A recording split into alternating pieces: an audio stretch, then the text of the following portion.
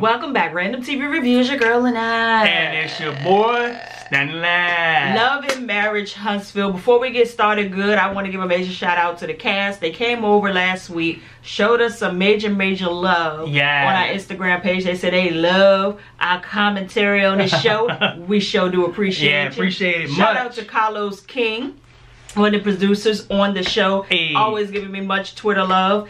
And also, if you all have not checked out my sis, and I say my sis on YouTube, really, bitch. Yeah. She does a really good recap on this show as well. So we'll go ahead and link her channel below. So once you finish watching us, go on over there and, and it's really eh. But I say bitch because I don't like the cuss. But anyway, listen. 10th year anniversary of Bus. Yeah. I'm gonna say this right out the out the gate. Martell is becoming one of my least favorite cast members on this freaking show, and I didn't I didn't see that happening. I thought Mar. Let me get this boy's name right, and let me apologize. I'm Haitian. We don't say O's a lot. Yeah. Like O's don't really come out naturally. so I've been saying Marcel, but his name is Marsau. So Marsau. Yeah. and even that don't even sound right coming out of my mouth. But anyway, I'm gonna say it. Marsau. I thought it was gonna be him that I would hate the most. But the more that we continue to go on, not that I excuse his behavior, but I understand some of the logic. Some of the dynamic Oh, that, yeah, that's why this goes right on now. like it is. Yeah.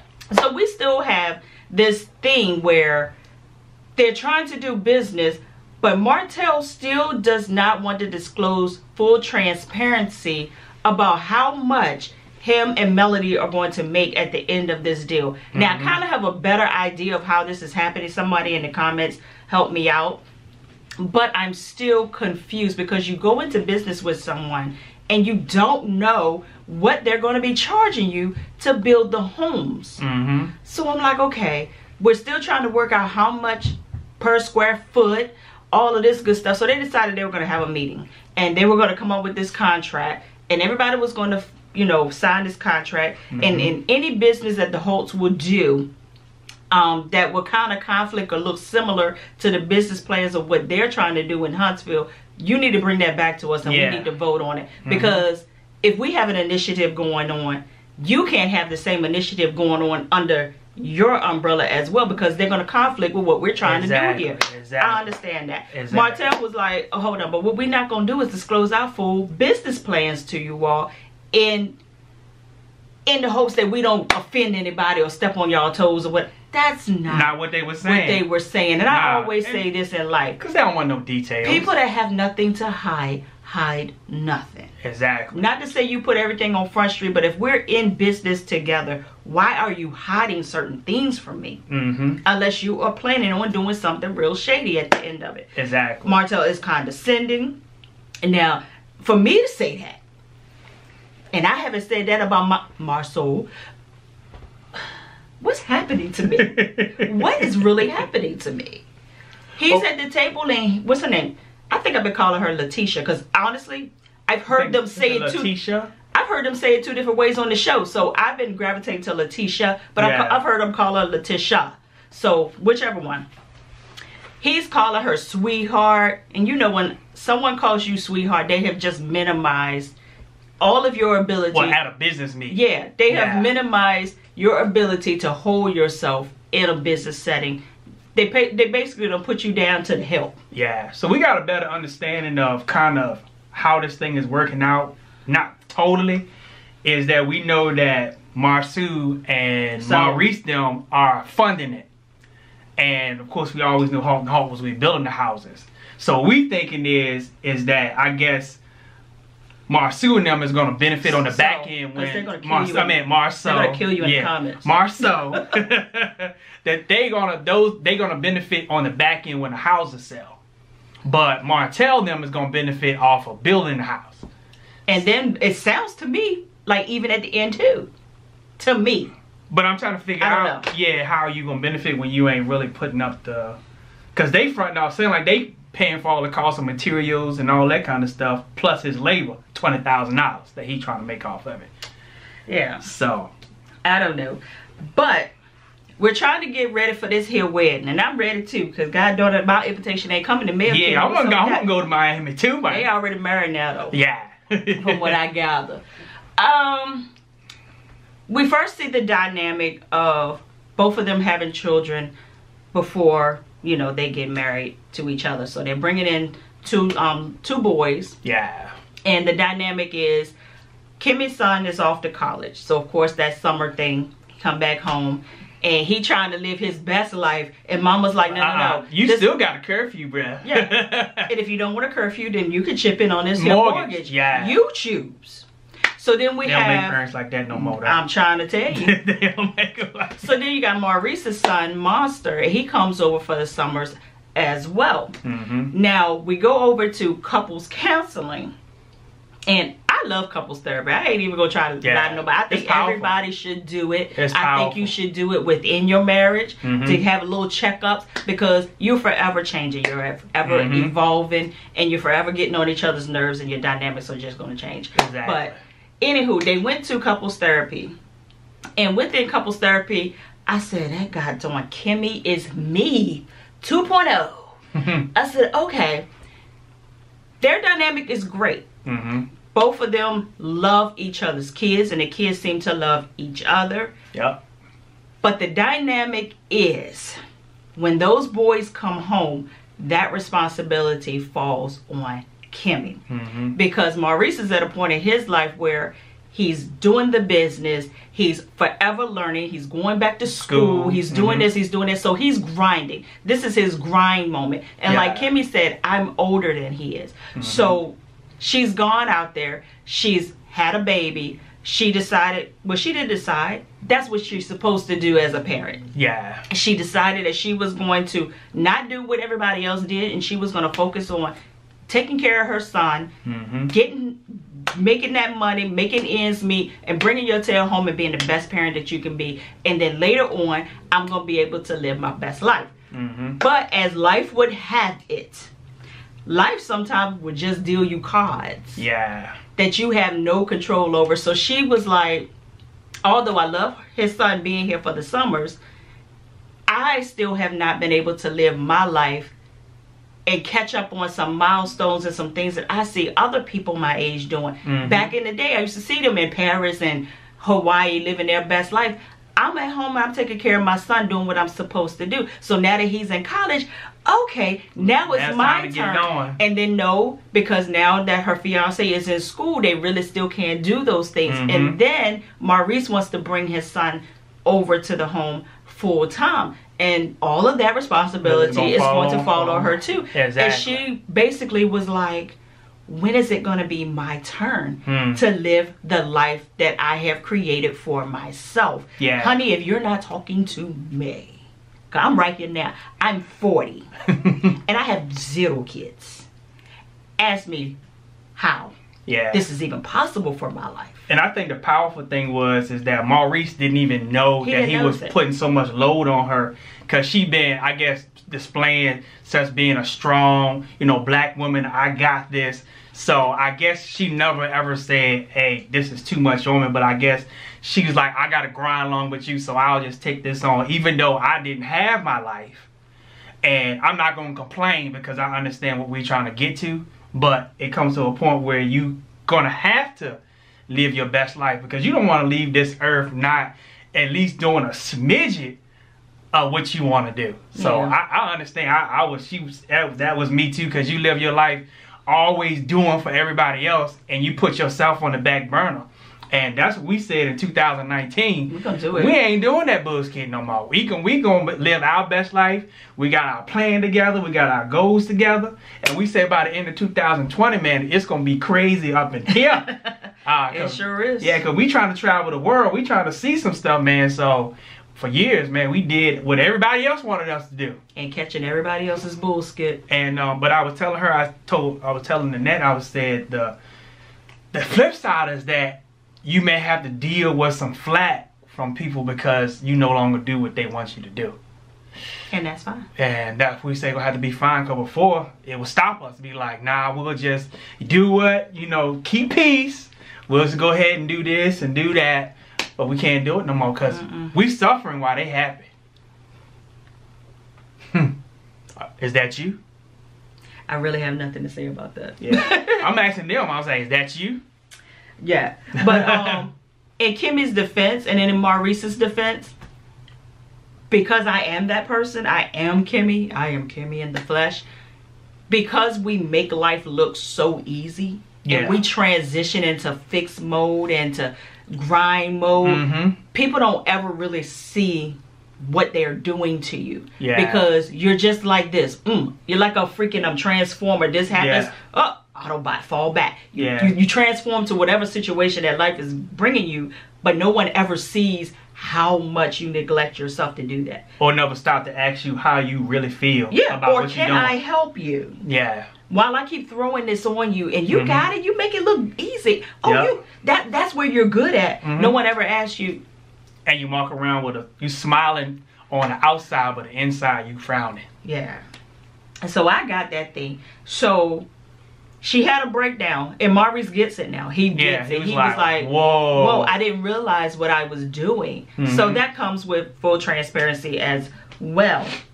and that's the power of counseling because they give you a perspective that you never even thought about. hmm A person that don't give a fuck about neither one of y'all feelings. Mhm. They'll Yep. tell you the truth.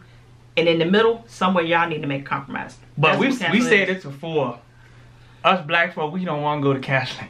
we don't want to do it. I don't. I don't get it. I, I don't understand. But it's- it's- yeah, you it's got embedded. yeah yeah you got to do it. It's mostly men. It really is. Because females, we like to talk.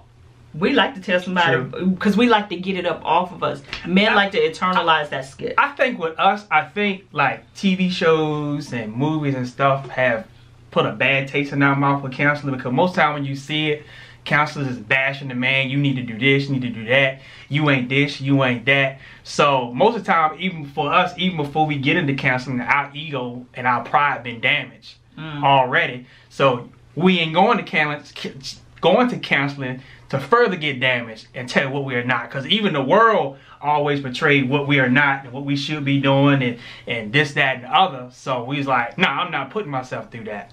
But from experience, it's really not like that. When you go to a, a correct counselor, an experienced counselor, they balance it. Yeah. They knock her upside the head and they knock me upside the head. And both of y'all leaving up out there with battle Yeah. scars, and y'all figure out how to fix and it. the most powerful thing, they let you know what you doing right. Because Right. sometimes you be thinking that, hey, I got this wrong, that wrong, but like, nah, let's let's take a step back. You got more stuff you doing right than you doing wrong. hmm We giving y'all some knowledge today, man. I'm trying to tell you. And at the end of 2000, what year we in? 19? 2019. The year has gone by fast. Yeah. And in, the end of 2018, I went to see a life coach because I Mhm. was like, there were just certain points in my life that I just felt stuck. I felt like Kimmy. Mhm. I am Kimmy, where life was just passing me by and I did not see an exit to do this and do that. A 40 year old, corporate America, we make great money. Mhm. And we still could not figure out how to do some of the things that we wanted to do because we had so many Responsibility- outside responsibilities responsibilities, yeah. pulling on us. We don't have kids. I don't have kids by design because I always wanted to have full control over the next phases of my life. And I'm 40 and I still feel like I don't have it. And my life coach blessed my life. Mhm. And she was like, let me tell you something. My life didn't begin until I was 40. So don't ever Yeah, think that was powerful. Yeah. that you're like It's- life has passed you by. it's never too late. it's never too late. Like I was Mhm. just telling her, I'm just beginning to travel internationally, Mm. do things and see things that I've seen other people do for years. And I always feel like I'm at this disadvantage Mhm. because of the cards that life had dealt me. Some of the cards I picked up on my own. Some of the cards were just threw on my table. They'll Mhm. do what you need to do with it. But at the same time, I'm like, God, when is it my turn? Mhm. When is it going to be my turn? And she was like, keep doing what you're doing. Yeah. Your turn is going to come. And not only is it going to come, you have to create and That's why I really say you gotta make it happen. Turn. Yeah, you gotta make she it She said happen. because life will always occupy you yeah, if exactly. you don't create a space to occupy it. And and, and one of the powerful things she told you too is that you have to learn how to say no. No has to be a powerful word in your life. No, I can't do that. Yeah. No, I, I can't do this. No, I can't go there. Mm-hmm. No. Uh-uh. Yep. Sorry. Sorry. That's unfortunate. That's Sorry, my that's word. unfortunate. Yeah. She always said, oh, that's unfortunate. Sorry, that's unfortunate. You know, and if they get mad, then that's just them trying to control the narrative of your life. Yeah, so I can say, man, when you went to the counseling session, you've grown leaps and bounds, man. Yeah. You have grown. I've become more of an a-hole though. I mean, you always gonna be that. But you just a grown up a hole right now. Yeah. like I really give two bucks yeah. about my no. But I say right now, we really feeling really good about life. I mean, we always felt good about How life. How did this become about us? Yeah, I, I don't know. 'Cause it's powerful. somebody somebody need this today. We we've always felt real good about ourselves, but we really feel we we feel like we have a sense of purpose now. Right. It's like our pers- purpose before was to serve others and to help others, but now we understand is that how in the hell is we gonna help somebody else when we ain't first helped ourselves? Boom. That's right there. That right there. That's that right. You can take that on home. And speaking of helping yourself, Melody and that goddamn Martell, how is it that you all have made it to 10 years and you do not celebrate it? Like I said, if you don't make time to occupy life, life will occupy Uh, it for you. Yeah. And they didn't. They didn't plan anything for that 10th year. So Letitia and them were like, you know what, we're just go ahead and plan this this little thing and we're gonna take them out on a night on the town. And they took them to this place called 360. We have one up in Northern Virginia here Mhm. where you go up, it's like a freaking spaceship, it spins around, Yeah. shows Stratosphere. yeah. Type of thing. And they thought that they were doing something. They picked them up in a limo and told them, oh, we're gonna take you to 360. It's a nice place. Melody up in her confessional, see that's that bougie skit. Yeah. That, that's what they was talking about. That's yeah. that skit they talking about. Yeah. You have changed. Yeah. She talking about some. Oh, we we We've went been there there years ago. Yeah, you went there, but you never had nobody to sacrifice and pay their money to bring you there. So the correct way to respond to that was, "Have you ever been there?" Oh yes, but you know what? I have been waiting for an opportunity to, To get go back back there. there. Yep. Oh my God! And I couldn't have imagined being here with anybody else other than my friend. That's how you spend that thing. Not Mhm. that. Oh, we Oh, just lied to them and Yeah. told them, Sorry. "Ah." That's that bougie skit they talking Mhm. about. But they got there, and then it became the it became the Letitia and Marsau show once again. And the more they argue, I don't take up for Marsau because he he is he is who he is. Yeah. And he he walks in, he stands in his skit. But at the same time, Letitia has to let me say this correctly because I don't want to seem like a chauvinist. My God, doing so. They had a plan. Yeah. They had a plan of the Mhm. direction that their life was going to go and what they were going to do. And now she wants to change that plan or really alter some things within that plan. And that's yeah. fine. She want to work in the company now. But at the same time, both of you all are going to have to come in an agreement to be like, you okay, okay. I'm getting antsy. I'm at Mhm. this house all day. I don't have any adult interaction, which happens with stay-at-home moms. Yeah. They start missing that adult interaction with other people. You know, they they they need an outlet. I need this. So this is what we can do. This, Mhm. this, that, and the third. I really think that if there was a, a solid plan going forward of how this would work, I don't think he'd have a problem with it. Yeah. I You won't have a honestly don't. Mhm. Listen to how he is, because he was like, if you want to go out there and make money, I can make more money Money, yeah. to make sure that and making sure that you have the household taken care of. I Mhm. can make more money. But what she's saying is, it's not about me going out there trying to make more money. She has something inside of her that she needs to fulfill. Exactly. So now y'all have to come into another plan to accommodate her needs that plan. Yeah. so that she doesn't feel like she's just at home doing the wifely things Yeah. and you're out there making money. She has to be incorporated in that as well. And I and I think with him too, I think probably him growing up with the way he acts, seeing other marriages failing because you got both spouses out in the workforce grinding and stuff start getting neglected, the kids get Martell. neglected, the house gets neglected. Yeah, for example. So I think And he's got a bird yeah, eye view yeah. So I think with him it's like, okay, if we have a plan, I go outside, you stay in, take all care of this stuff. Cause like you said, I don't want you to be barefoot and pregnant, walking around not doing what you want to do. But we need to plan it out to make sure that at the end of the day, it's We're gonna good. work out that our house life is gonna be good as well as our outside house gonna be good. Because I guess if she decided to go full force in the workforce, something's gonna be neglected there. And they might end up being Martell and Mel. yeah. And I really think that's what he's mostly afraid of. Now I think the, I think his delivery is what turns a lot of people off. Mm-hmm. Yeah, his the way he deliver it, you know, in the chauvinistic type of way. And it could be editing. Yeah, We know how this goes. yeah, you got to make it. You Drama got, yeah, sells. you gotta, yeah. But I would still love y'all need to let us know what that five year plan is. If if you can't do it on the show, go on slide it in our email. Our email is in the bottom of the video. Yeah, let I us got know. your back. I- you know, we don't need we don't need to know the details, but give us a little bit of insight into it so we can come back and speak it on the video so we can you know help y'all out, man. Uh, so, you know, Letitia decided she was gonna go around and be like, you know what? You all have survived 10 years. You know, y'all have come through a lot. And this was really her opportunity to stab at Martell, to And be she honest did with it you. too. She did it, and I wasn't even mad. That was a passive aggressive move, but I wasn't even mad at. Said, because you know, you all have overcome infidelity, and look right at Martell like, uh huh. that was for that sweetheart comment. That was for that. She got you. Checkmate. She brought it up because she know it gets under your skin, and she knows that if she brings it up, Melody is gonna follow suit right with it because she she takes every opportunity to dig at you about that. Yep. And another thing, so you still Going to the gym late at night. turning up missing, Hmm. and they had the nerve Say to bring that chick, her is that chick at the gym? he better go to golf. at the golf. Yeah, took her to golf with them. You should have took her to the gym like you said.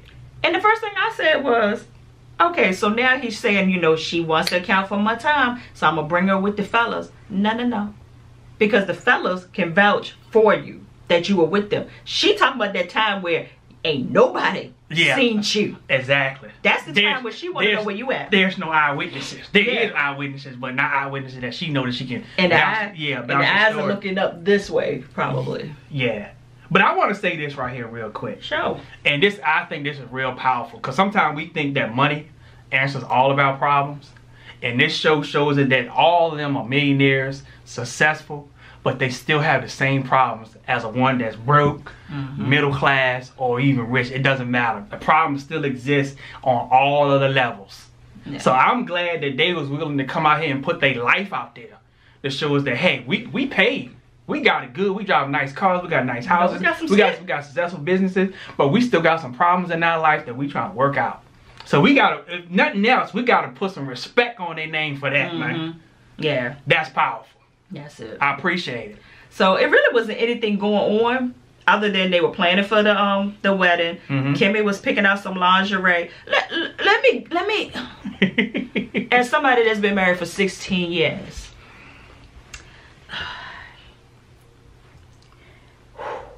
Woosah. Melody and Letitia. If y'all don't get y'all a subscription to Adam and Eve And down there at the Priscilla McCall's, over there at the Taboo, and do some strange things in that bedroom, I'm Huh? trying to tell you. Huh? Y'all in here, y'all don't know what Kegel balls is. Y'all don't know what the hell's going on. Kimmy over here talking about so Kimmy said I got four drawers full of lingerie. I keep my bedroom door locked. But I thought she, I thought she ready to say I got four drawers of sex toys. I could to say, God, It- it's don't, but it's, but it's, it's probably one and a half. Yeah. You know. So if y'all don't learn nothing else, y'all better learn to turn into somebody else when that door closed. And if you got kids in the house, just turn the music on, turn the TV up, Yeah. so that they don't think nobody in there trying to kill each other. That y'all in there fighting, they hearing lawnmowers going on, all this. Just, Lord, that air freshener scared the hell out of me. I said, what in the heck is going on up in here? Y'all seem so prude. I said, y'all better do some strange things Mhm, for so no you, change. So you better listen to Kimmy. and sometimes, they, Yeah. look, sometimes they'll pay you afterwards. Uh huh. Uh-huh, straight from the VA. The dirty, dirty south. Two up, two down. Holla.